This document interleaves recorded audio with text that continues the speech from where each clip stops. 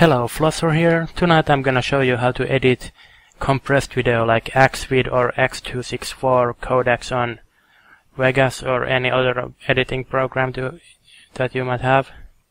So here I have an AVI file that is uh, encoded in X264.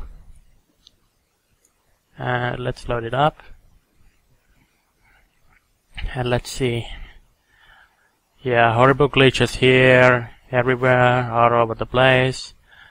And it would look like that when you render this project in Vegas. So, let's delete that. And what we're gonna have to do is just change the container from AVI to MP4. So that's gonna behave much better. So we're gonna have to use this program called Avidemux and it's free. I can I can put the download link in the description. And this is what the program is gonna look like. So in this menu you have to select copy, so it won't re-encode this to auto format. So it's gonna set the same size about and audio whatever. So this menu you have to choose choose MP4 Muxer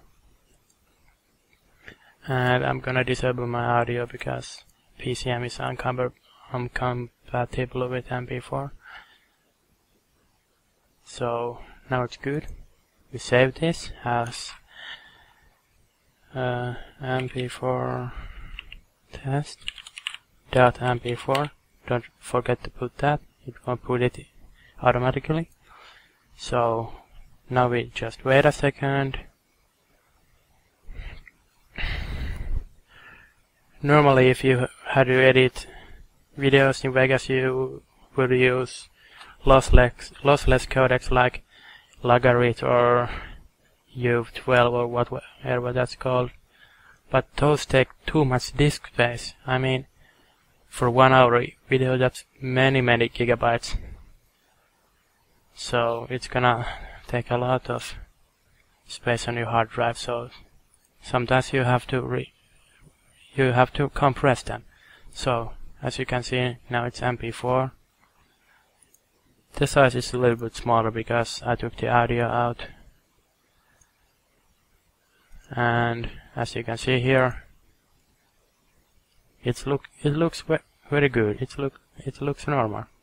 So no glitches.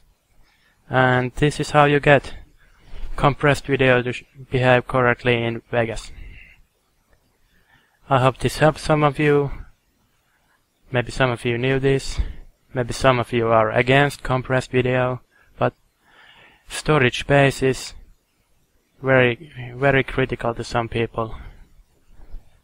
And if you have hours of footage, it, it's gonna cost you a lot of money to buy hard drives and external hard drives and shit. So, yeah, this is how you can save space and get your videos to work in Vegas. Thank you for watching.